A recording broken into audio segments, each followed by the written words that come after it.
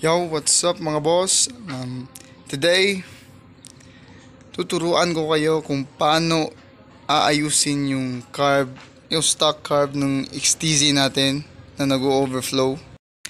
Marami kasing nagtatanong at nagpo-post ng questions about bakit daw nag-overflow yung carb nila, ganto ganyan. Um, di naman natin mapagkakaila na yun talaga ang isa sa mga numero unong problema ng motor natin. Marami namang nagsasabi na magpalit ka na ng carb. Yung mga sumasagot ng ganun, palitan mo ng TMX, 24mm, 28mm, which is okay naman kasi maganda yung performance pero mahirap, ah, medyo may kamahalan din. Di naman agad-agad yung pera natin ah magagamitin natin sa motor natin kasi marami din tayong pangangailangan. Maraming ganun, yung alam nyo, marami tayong priorities. Sa mga nagtitipid, ah, ito yung may tutulong ko sa inyo. Ah, simple tip lang naman. Pero bago tayo tumungo doon, um, new, ah, bago pa lang tong YouTube channel ko, ito yung first video ko. So, please, please, please, subscribe nyo ako. Tsaka like nyo yung video ko. Pakishare na rin. So, kailangan nyo lang tanggalin is yung pinakailalim, yung cup niya. Ah, Hindi nyo na kailangan galawin yung sa itaas kasi nandito naman yung problema.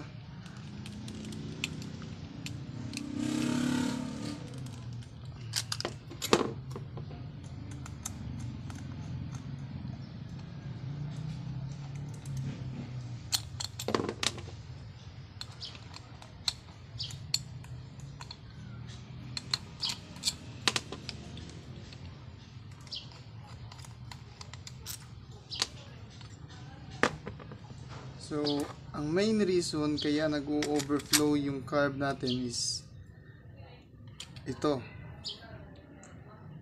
Yung float valve niya. Kailangan nyo lang tanggalin tong lock para mapalitan natin siya.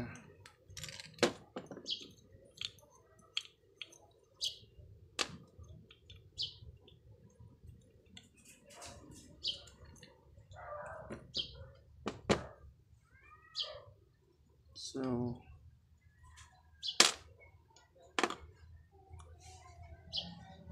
ito ano, medyo pudpud na yung rubber niya. So, kailangan na siyang palitan. Ang question is, ano ang ipapalit natin sa kanya? Ah, di ko alam pero I'm sure kung bibili kayo ng repair kit ng carb na to sa Yamaha, sa Yamaha mismo, I'm sure mahal. Siyempre, Yamaha. Pero, quality naman. Pero, ang purpose ng vlog kong ito is bigyan kayo ng, siyempre, yung kung saan tayo mas makakatipid. Ang gagamitin natin is, gagawin nyo, bumili kayo ng repair kit ng Badja. Badja City 100. Nasa, bil- ito bili ko dito is 100 pesos lang. Yung ibang, nasa, ah, yung ibang parts nito, di nyo magagamit. Pero, okay lang. At least, under 200 pesos, eh, maaayos nyo yung card nyo. So, compare natin yung sa Badja medyo konting-konti lang, mas mataas siya ng konting-konti pero pareho parehong pareho yung laki niya. So, sukatin natin kung papasok ko siya. Yun. Pasok. Ah. mapapansin nyo, magkaiba yung ano yung pangsabit niya. Madali lang yan. Tanggalin nyo lang. Yung sa original na valve, ah, na float valve ng carb nyo, ilipat nyo lang dun sa bago. Yun. Tapos, balik nyo. Ganon kasimple.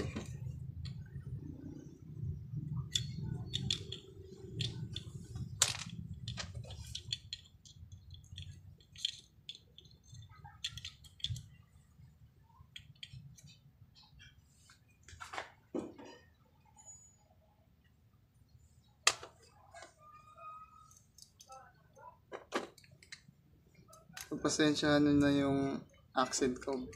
Bisaya mong gutaw eh.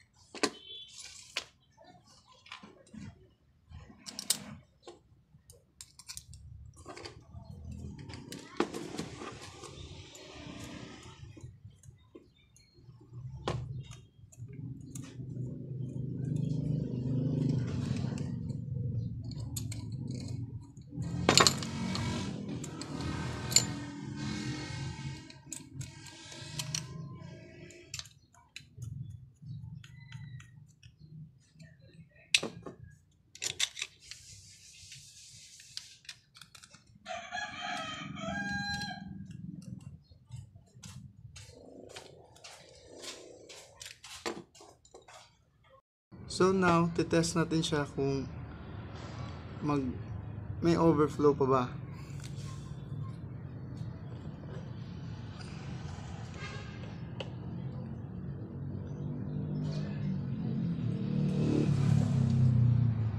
Ah, wait natin mga fif- ah, 30 seconds.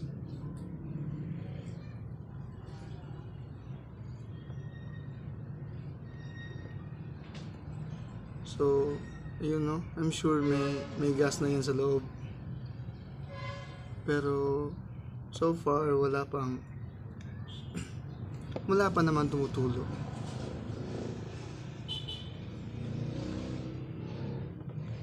So I think that's it ano. Yun lang. Tapos ang problema. Under 200 pesos.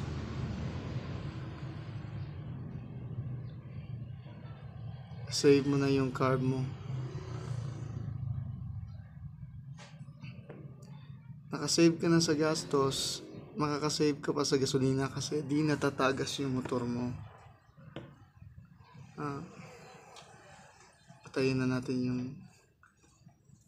gas natin.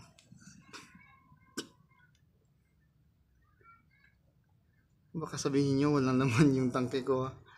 Ito pag tinagilid natin yan, may, may gasolina yan sa loob. Yun. Sayang. so, I think that's it, no? Salamat sa panonood. Huwag niyo kalimutan mag-subscribe sa channel ko. Paki-like na rin at paki-share. Salamat.